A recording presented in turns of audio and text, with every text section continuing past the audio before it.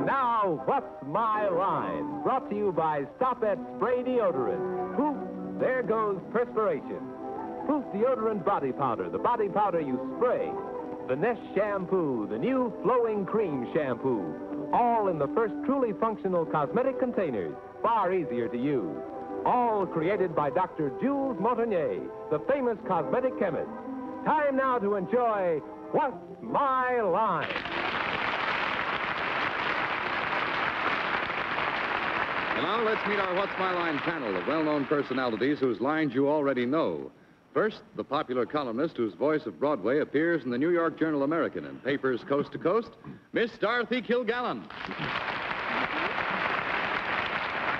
And on my left, a brilliant young humorist who will shortly grace the Broadway boards in a new production, The Pink Elephant, Mr. Steve Allen. Always wanted to grace boards. And on my left, a young lady who's known to you all, I'm very sure, because she's one of the most popular uh, ladies in radio and television, Grace Boards, or Arlene Francis.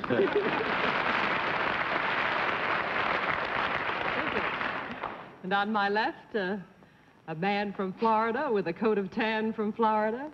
I'm a brainy, zany Hal Dimples Block.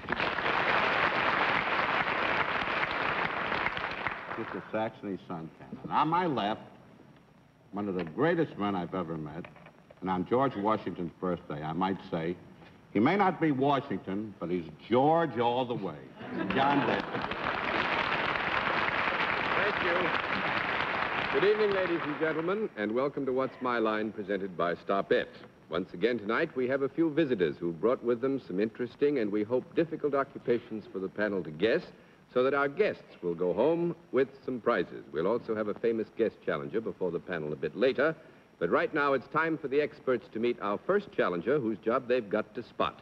So would you sign in, please, sir? William Hart Net with a double T. William Hartnett, is that right? Now, first of all, Mr. Hartnett, will you be good enough to tell us where you're from? St. Louis, Missouri. St. Louis, Missouri.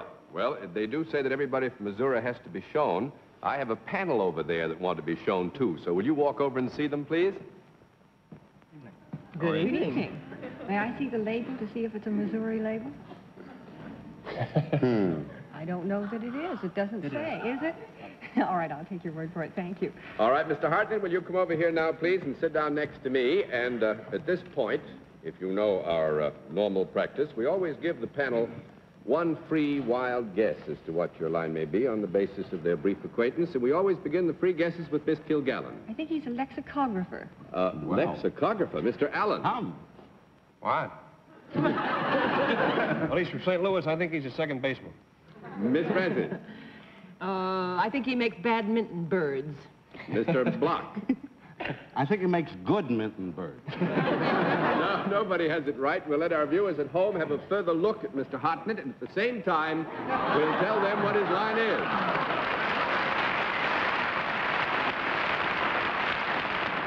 Panel's got to dig, Mr. Hartnett, and the rules are very simple. Every time you can dredge a no answer out of them, it costs them $5. We keep a record of all that up here. Ten of these no's, you win the game. One last bit of help for the panel. Mr. Hartnett is self-employed. With that, we'll begin the general questioning with uh, Steve Allen. Oh. Uh, Mr. Hartnett, is there a product of any kind connected Yes. with what you do? There is? I see. Is it a product that uh, I might possibly ever come into connection with, into contact with? Yes. Uh, is it the kind of a thing that might possibly make people happy? Yes. Could sometimes, certainly. Good. Well, could it also make them unhappy? Yes. If I had uh, come into contact with this product or used it or whatever, uh, could you tell it if you stood close to me? Yes.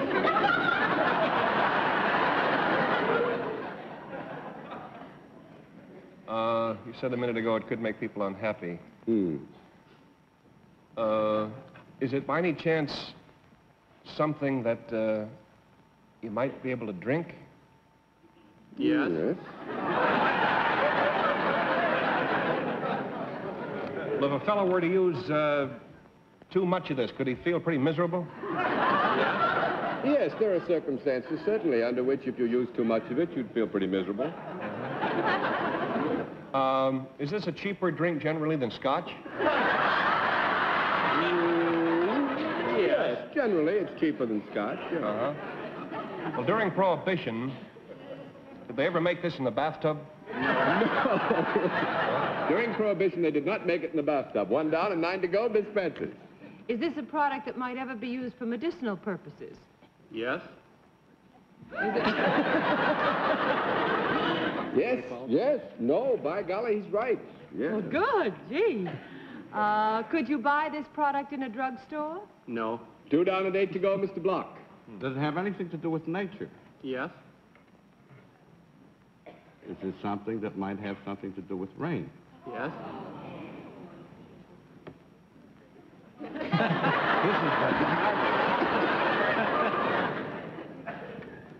Is it something you might put in your hair to, to make it soft, like rainwater? Well, to the degree that, you know, I mean, there are very few things in nature that wouldn't have something to do with rain, and certainly um, rainwater would make your hair soft. Well, there's something to do like with hurricanes, which has nothing to do with rain. Yeah, that's true. Well, but there's rain in a hurricane, you know. well, go on from there. Make, it could make your hair soft, yes. And you say it's something that you would drink? Yes. Yeah. Is it, is it, uh, have to do with water? Yes. Now! I'll have a conference with All this you can have uh, 20 seconds for a conference. I don't know. I had an idea maybe he could be in the rainmaker business. Oh, yes, that's wonderful. All right, Now, let's Mr. Block. see. Could that be it? Go Are you a ahead. fella that puts dry ice ever up there with aeroplanes and stuff? Yes. Now, let's see. What could he be? Rainmaker? Rainmaker is right.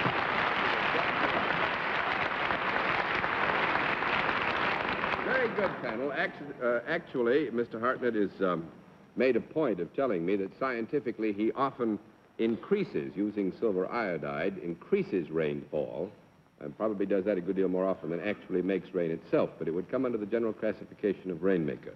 We thought it was going to give you a lot more trouble.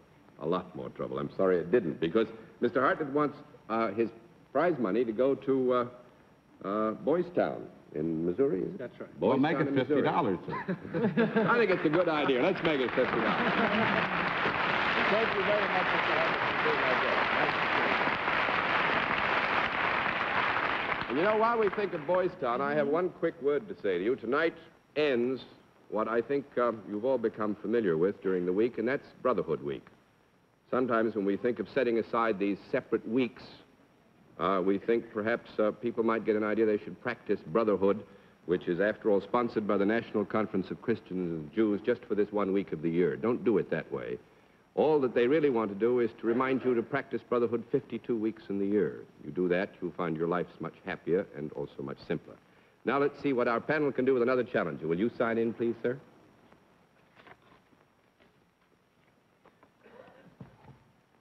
Bernard. Not McFadden, Bernard Spooner. How are you, Spooner?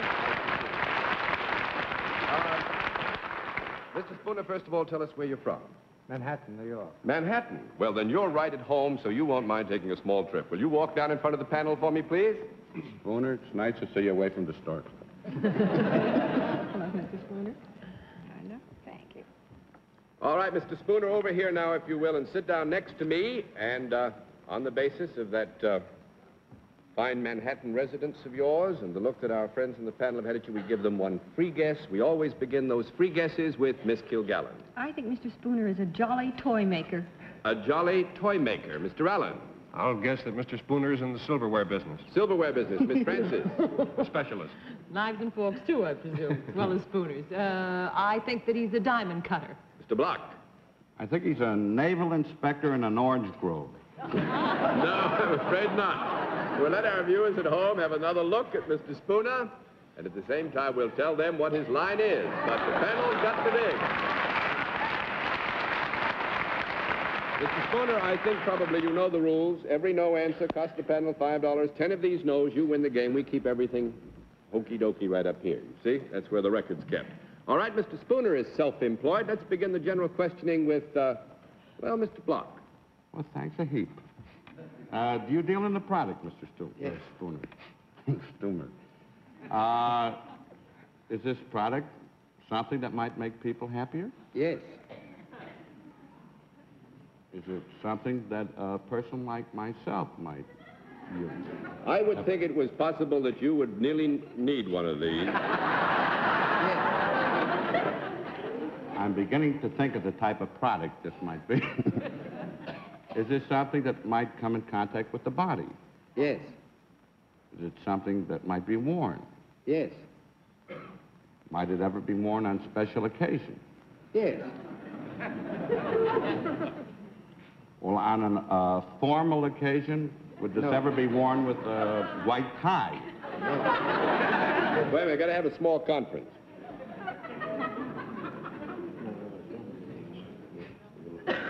Mr. Spooner's the expert. I never have had any need for this particular product. He says no on a formal occasion, so that's one down and nine to go, Miss Kilgallen. Well, I'm probably far afield, but, uh, Mr. Spooner, is this product ever worn by anything aside from human beings? No. Two down and eight to go, Mr. Allen. Nice field you were in there for a minute. Is it something that uh, could be purchased in the average department store? No. Three down and seven to go, Miss Francis. Well, then might it be uh, purchased in a special kind of shop? Yes. Uh, is it worn? Uh, would it be considered a piece of apparel? When it is worn, it would come under the general category of apparel, yes. I see. So one presumes that this is only worn at special... What just happened? Down, Gilmore. She acts like she forgot to wear one. or something.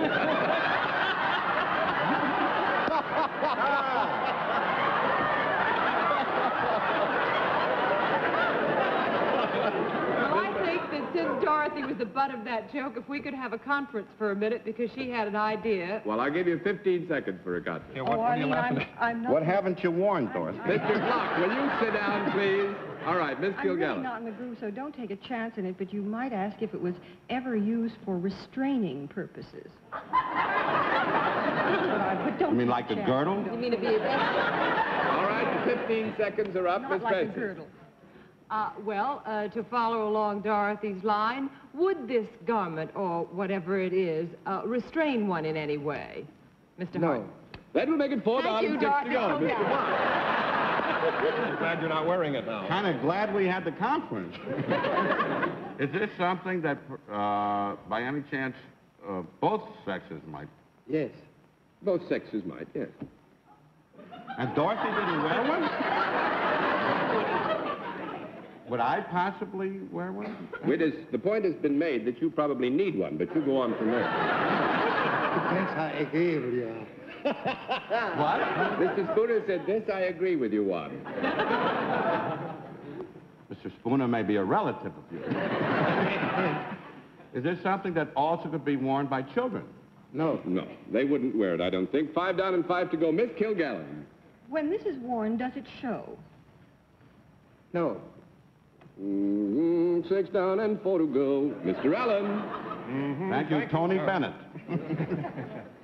Uh, does this have anything to do with the physical well-being of the person who wears it? Oh, yes. Would it, uh, could it be purchased then, say, through a medical supply house or something? Seven down and three to go, Miss Francis. I'm going to give you 30 seconds more to try Oh, well, I can't do it in 30 seconds. But if it is worn, is it worn from the waist up? Mm, is it worn from the waist up? Yes. And also worn from the, uh, would it be, uh, cover any part of the body from the waist down? Sometimes. It could. If you're sloppy. Uh, is it, is it something that might be worn in a hospital? No. Eight down and two to go, and I'm going to ring the clock now. This What is is going to kill you when you hear it. Mr. Spooner makes bulletproof vests.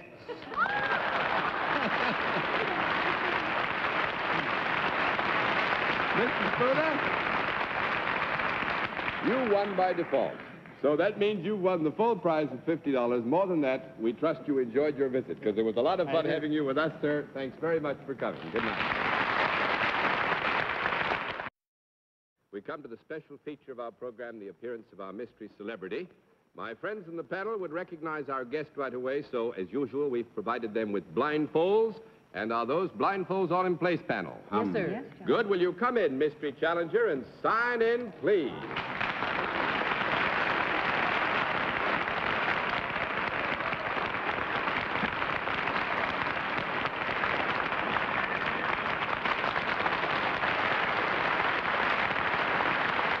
All right. All right, panel. As you know, in the case of our mystery celebrity, we always get right down to the general questioning, which we will begin with Miss Dorothy Kilgallen. Are you in show business? Mm-hmm. Uh, do, are you the type of person in show business who appears before the public? Mm-hmm. Uh, do you ever appear on the stage? Mm-hmm. Do you sing by any chance? Mm-hmm. Is that a yes? Yes, that's a yes. Uh, do you ever sing on records? Mm-hmm.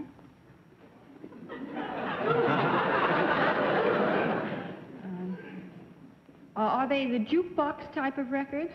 Mm-hmm. Now, wait a minute. Uh, are you female? Beg your pardon? I said, is our guest female? Mm-hmm. I hesitate to ask a lady this question, but have you more than one head? ha, ha, ha,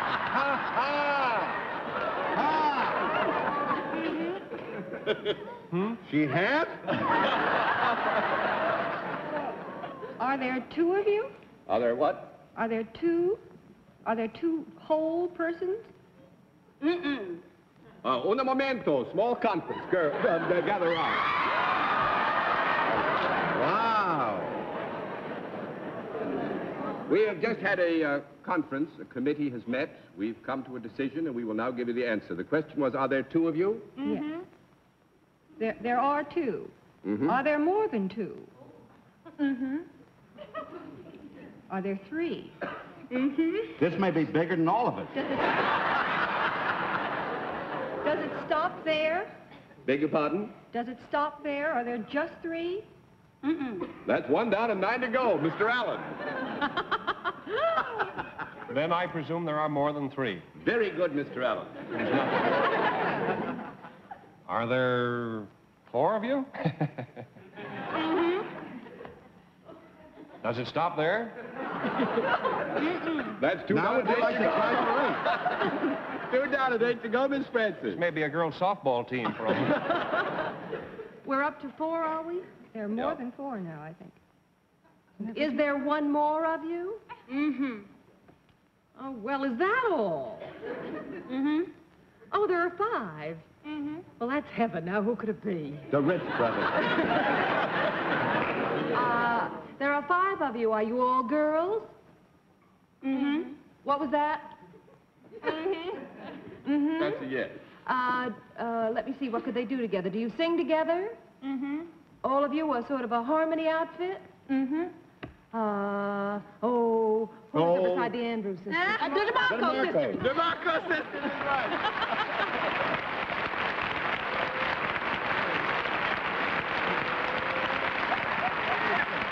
I would say, I would say, There are more than five. There are six over there. I can't sing, and they don't need a bass, unhappily. And I'd love to be able to sing with them, but I must say it was wonderful watching your face, Dorothy, as you tried to figure out how many heads there were over here. I thought, goodness, that girl changes her voice well.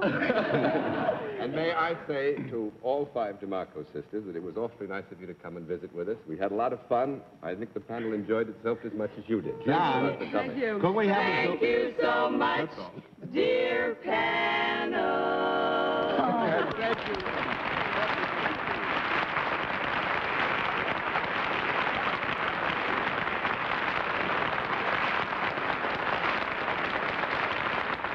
And panel, I want to notice something. We even asked the DeMarco sisters to take their shoes off so that you wouldn't hear them walking in. That's why they all came in holding their shoes in their hands. See what we can do with another challenger. Will you complete the signing in, please, ma'am? Daisy Whitten, is that right? Now, is it Miss or Mrs.? Mrs. Whitten? You look awfully worried, and you don't have to look worried. You've got nothing but friends here. Uh, where are you from? Ashburn, North Carolina. Asheboro, North Carolina? Well, would you be good enough to take just a quick walk down in front of the panel, turn right around and walk back again, because time is running short. You had to be married, huh? All right, Mrs. Whitman, will you come back here now, please, and sit down right next to me? And on the basis of that um, quick walk and your handwriting on the board, we always give our friends one free guess as to what your line may be, and we always begin the free guesses with Miss Kilgallen. I think she raises magnolias. Mr. Allen. I think she lowers magnolias. Miss Francis. I think she's a mathematician, and Hal wishes he had her number, huh? Ah! Mr. Block. What can I say? I think she's the mother to the Marcos. Nobody has it, so we'll let our viewers have a further look at Mrs. Whitten. At the same time, we'll tell them what her line is, but the panel's got the date. All right, we'll get everything back to zero here, and then the rules are very easy, Mrs. Whitten. Every no answer you get from the panel costs them $5. We keep the record up here. Ten no's, the game is all yours. Mrs. Whitten is salaried. With that, let's begin the general questioning with Arlene Francis. Do you work outdoors, Mrs. Whitten? No. One down and nine to go, Mr. Block. Do you have a number? uh, do you deal in services? Yes. Do you also deal with the product? Yes. Is this a product that's used by both men and women? Oh, yes. Is it something that's used in everyday life? Yes, it's susceptible to use in everyday life. Well, thanks a heap. Yes, all right. Uh, do, do people come to you, Miss Whit? Do people, do people come... come to you? For what? For For the product. Thank you very much. That's two down and eight to go, Miss Kilgallen. Uh, would you say that this product was more apt to be used on special occasions than every day by most people?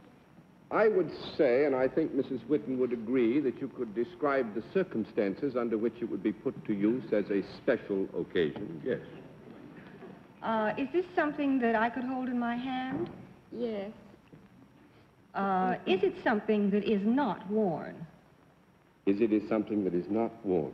Yes, it is something that is not worn. Is it something that is not eaten? Yes. Yes, it is something that is not... Ah! Uh, Is it is something- there anything um, dangerous about this, or potentially dangerous, or exciting, or... There, yeah, boy, well, just a moment. Miss Whitten. Anything connected with her is exciting. Well, that's very nice, Mr. Block, and true. I would say that there are circumstances under which this could be dangerous and exciting, although I must, in all justice, say that that is not normally the expectation. Well, then this is something that things could go wrong with. Well, to If- the degree that anything uh, that has uh, Does- modern appliance can have something go wrong with it, this might have something. Does this have any movable parts? Does it have any Yes. movable parts? Mhm. Yes. Uh, is it ever used in the kitchen? It'd be a silly place to use it, wouldn't it? That would be three down and seven to go, Mr. Allen.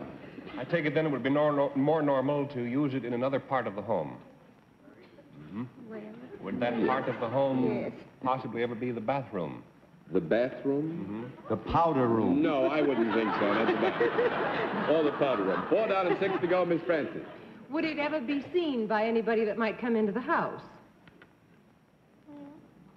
Would it be in a place where it might show, I mean? Well, I would give you a no on that because the normal expectation is that it wouldn't be where it might be seen. So that makes it five down and five to go, Mr. Block, and less than a minute to go.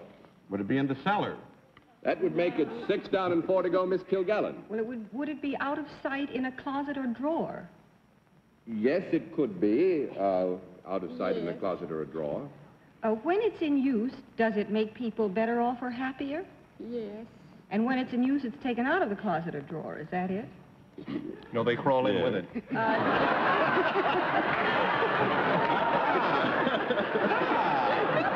Mr. Do you ever plug it in? beg your pardon? Do you ever plug it in the wall? Yes, and you have one more question. Oh, dear. I haven't any idea what it is. I'll- Well, Dorothy, I actually I have to rule you out on time. It's too bad because I think you'd have gotten it, but we have run out of time, so you would get the full prize, Mrs. Whitten. It's an electric heating pad that Mrs. Oh. Whitten ah. makes. And you get the full prize of $50. Thanks for being our guest. It was nice to have you on. Good night. And now, in just a moment, ladies and gentlemen, we'll give you a preview look at one of the guests whose line our panel will be asked to try and identify on next week's program. But first, here's something to remember. Next week at the same time, our panel of experts will be asked, What's my line by this man? Would you know what his occupation is? Could you possibly spot his line? Well, for the answers to these and a lot of other questions, be sure to join us again next Sunday night at 10.30 p.m. Eastern Standard Time when once again Stopette invites you to join What's My Line. For other localities, check your local listings for the date and time of our weekly series. And don't forget What's My Line on Wednesday nights on CBS Radio. Until we see you again then, this is John Daly saying good night, Dorothy. Good night, Steve. Good night, Grace Boards. Or Arlene. Good night, Hal. So where are the DeMarcos? Good night, John. So good night, ladies and gentlemen, and thanks for being with us on What's My Line.